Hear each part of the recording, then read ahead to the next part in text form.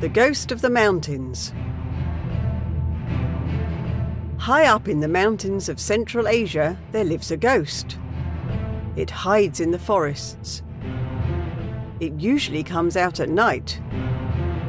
People rarely see it. But it leaves tracks in the snow so people know it exists. This isn't a real ghost. This is the snow leopard. It is a big cat that people call the ghost of the mountain. The snow leopard has thick fur. It's got black spots on its head, body, and long tail. Its fur protects it from the freezing cold, and its spots helps it hide from its prey. It also has big paws to help it walk on the snow. Snow leopards eat wild sheep and goats. They are incredible hunters. When they attack other animals, they jump as far as 15 metres because of their strong back legs. They are powerful animals and they can kill prey that is three times bigger than them.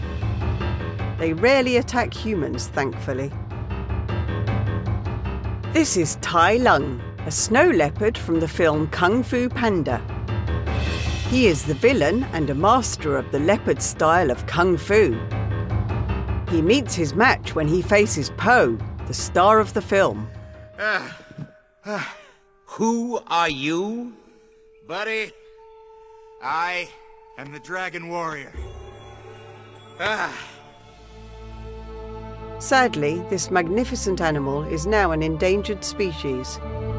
There are only a few thousand of them left in the wild.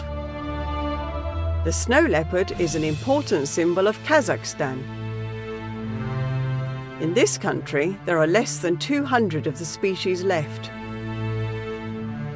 It's important for us to help the snow leopard survive. We don't want it to become a real ghost of the mountains.